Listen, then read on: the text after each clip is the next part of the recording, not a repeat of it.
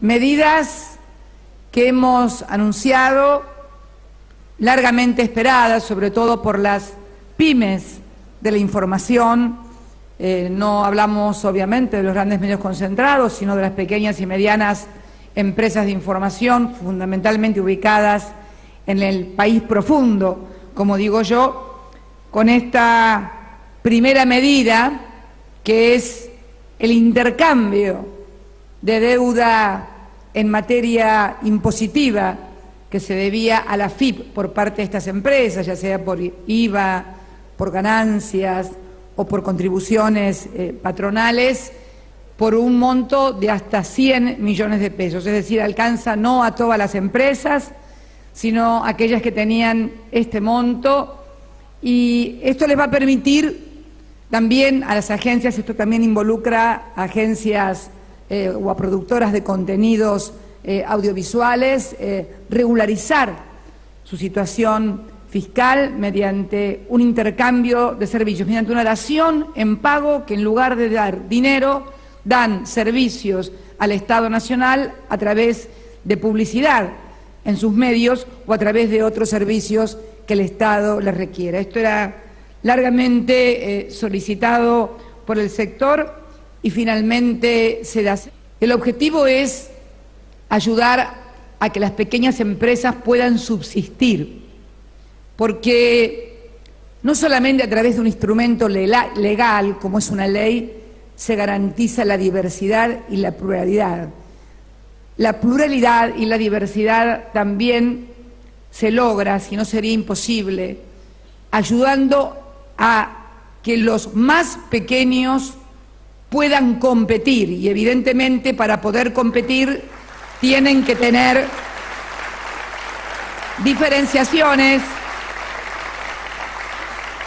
impositivas. También ponemos en marcha algo que es esencial y que tiene que ver también con la publicidad, porque la publicidad, eh, la medición de audiencias también tiene que ver, está directamente vinculada a la publicidad y directamente vinculada al costo del segundo publicitario. Y bueno, parece ser que se mide únicamente lo que se ve aquí en la ciudad de Buenos Aires o en el conurbano, pero resulta ser que además hay eh, también otros 20 o un poco más de millones de argentinos que también queremos saber que miran y queremos hacerlo a través de una organización no gubernamental que contemple la medición desde la Quiaca hasta Tierra del Fuego sobre qué miran y cuáles son los gustos y las preferencias de los argentinos. Este aumento que hemos hecho de subsidios desde el INCA para todo lo que sea producción nacional, que no solamente es arte, sino que es industria, para nosotros es muy importante seguir apoyando, seguir apoyando a la industria cinematográfica argentina, a sus actores. Por eso hemos apoyado tanto la lucha de la Asociación Argentina de Actores para que le reconozcan sus derechos, también la de los directores de cine, y los vamos a seguir apoyando porque son trabajadores de la cultura y como tal deben ser reconocidos. Por último, y lo dije para lo último, a propósito, no fue casualidad. La inauguración del nuevo edificio que compramos, refaccionamos y acondicionamos de TELAM, la agencia oficial de noticias del Estado argentino.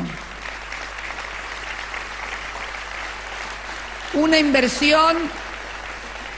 de 32 millones de pesos ocho pisos a nuevo en Belgrano, 400 periodistas, tres estudios de radio, seis islas de edición de video, salas de cámara, salas de fotógrafos, recepción satelital, archivo público, fotográfico y periodístico. Ustedes saben que es uno de los mejores y más importantes, el de TELAM. Redacción portátil, web, muestra fotográfica permanente, sala de reuniones y sala de usos múltiples, terraza y comedor para los trabajadores. Pero yo quiero dirigirme a Carolina, a Patucho y a todos los trabajadores de Telam. Carolina hablaba recién de que ella está a cargo de el recientemente creado departamento audiovisual hace apenas seis años, porque Telam siempre fue agencia de noticias por Telex, por los antiguos Telex, eh, o también radiales, de cables, etcétera, etcétera. Yo quiero plantearles a todos los trabajadores de Telam y plantearle un desafío también a la Secretaría de, de Comunicación, al Ministerio de Cultura, de conformar de conformar desde lo audiovisual también y también desde todos los ámbitos noticieros internacionales en materia política y económica de los que carecemos en la Argentina porque es una cosa es una cosa muy impresionante, pero cuando uno viaja, mientras uno está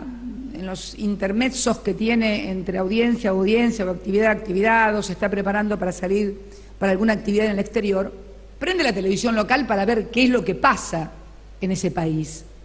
Y les puedo asegurar que no hay país, yo miro fundamentalmente los noticieros para ver qué es lo que está pasando, no hay país en que por lo menos un tercio o algo más esté total mente destinado a noticias internacionales. Yo los desafío a todos ustedes a que miren los canales de noticias argentinos y es como que nos miramos, o se miran, porque yo no dirijo ninguno, se miran el ombligo permanentemente y si querés saber algo de economía, yo personalmente pongo a la agencia Bloomberg y si querés saber algo de política, miro Telesur pero si no, no te enterás de nada de lo que pasa en el mundo en materia económica, política o social. Yo quiero, hoy es 5 de junio, eh, dentro de dos días, el día sábado va a ser el día del periodismo. Me gusta esa, esa apuesta que hizo Carolina de no decir más día del periodista, sino decir día del periodismo, ¿no? Como vocación pasando de lo individualista a lo grupal, a lo vocacional y a lo social. El periodismo como vocación de información eh, eh, y de socialización de la información con el resto de la población. Terminar este día en el cual hemos dado medidas muy importantes para que fuentes de trabajo, como son todas las pequeñas y medianas empresas este, gráficas, agencias eh, y, en fin, y también productoras de contenido puedan seguir manteniendo sus fuentes de trabajo, puedan seguir siendo competitivas. Darles un gran saludo. Ustedes saben